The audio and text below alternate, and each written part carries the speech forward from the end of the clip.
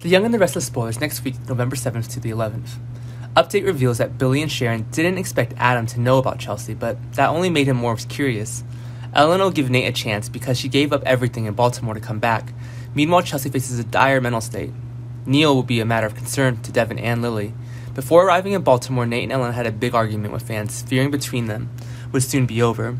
However, now she's back but can take and make good use of the opportunity.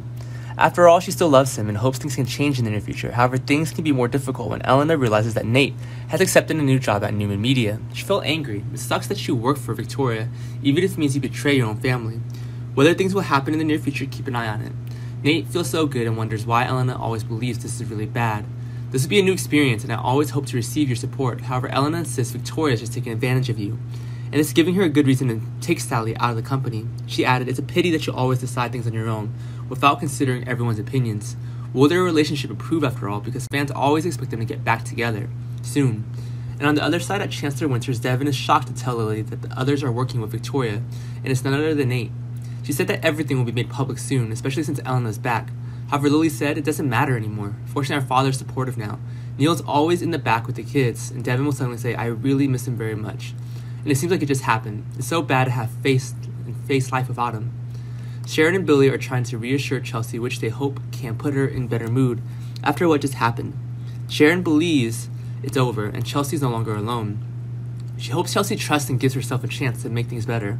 And Billy tries to take control of the situation and hopes Chelsea notices and changes her mood. It's scary to go through it alone, and I'm sure it won't happen again, Chelsea said in unease. However, Billy believes Chelsea has experienced something very bad under the efforts of the two of them, will Chelsea be able to overcome this difficult period and soon return to a normal life as before? Billy's departure will make Lily feel uncomfortable, and he doesn't want to make it clear what's going on.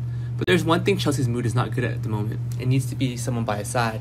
In the future, I'll be by her side to support her, and this is absolutely necessary, and he has no other choice at this time.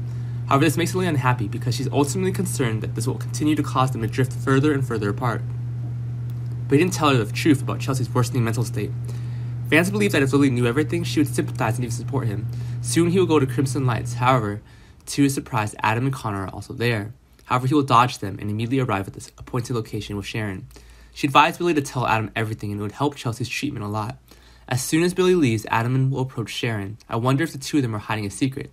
Maybe that really has something to do with Chelsea.